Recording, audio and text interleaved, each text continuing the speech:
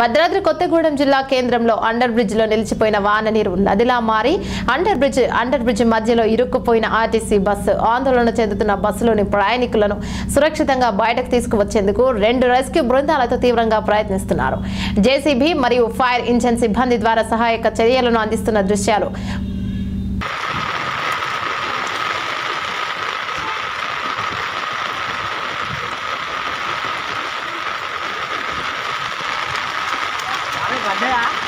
పడ్డాయిరా. అన్నయ్య ఇక్కడే ఉన్నా.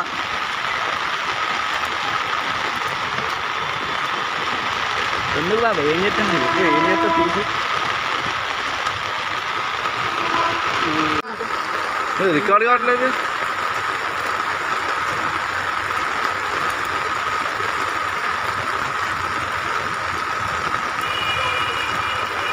రెండు బస్సులు అయిపోయినాయిగా మూడు. ఇంకా ఒకటి ఉన్నది కొత్త సముద్రం వచ్చింది.